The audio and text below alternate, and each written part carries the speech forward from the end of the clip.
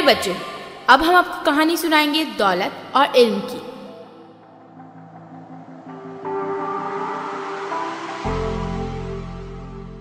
एक शहर में दो दौलतमंदों के बेटे आपस में गहरे दोस्त थे।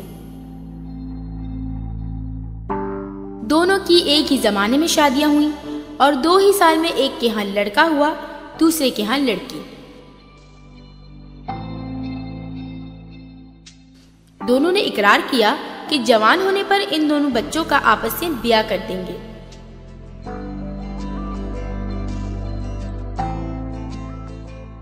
लड़की वालों ने लड़की को मोहब्बत से पाला। जहाँ कोई अच्छा गहना, कपड़ा या कोई अच्छी चीज़ देखते, ज़रूर ले आते। लड़के वाले अपना रुपया लड़की की खुराक, वर्जिश और लिखने पर खर्च करते मगर जाहिरी चाव चोचले के पास ना भटकते आखिर जब लड़के ने बीए पास कर लिया तो ब्याह की तैयारी हुई। मगर इनके पास ना कुछ ज़्यादा सामान था, ना रुपया।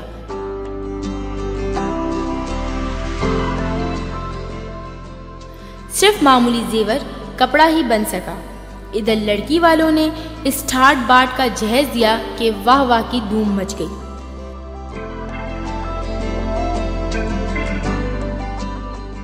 शादी के दूसरे साल भी ये नौजवान कहीं पहाड़ पर गया हुआ था कि घर को आग लग गई।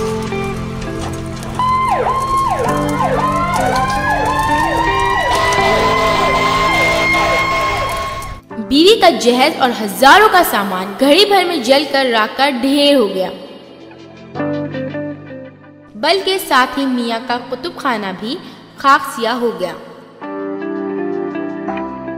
इस मुसीबत की खबर लड़की के वालिदैन को पहुँची तो इन बेचारों ने मारे रंज गम के मुँह नोच लिया। और बलाखिर इसी गम में जान भी गंवा दी। इधर भी नौजवान जंगी भेड़े में नाम लिखवा कर पाँच सौ रुपए माहवार के औहदे पर फाइज हो गया। और तीन बरस के बाद दस हज़ार रुपए लेकर पलटा। मकान की मरम्मत भी करा ली गई और कुल सामान भी पहले से बढ़ चढ़कर तैयार हो गया।